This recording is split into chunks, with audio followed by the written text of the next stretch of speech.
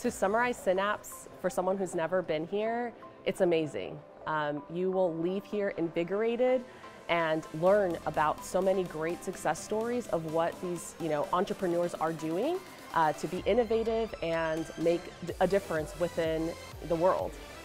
So one of the things that I'm looking forward to here at Synapse is I've had the opportunity to watch Synapse grow.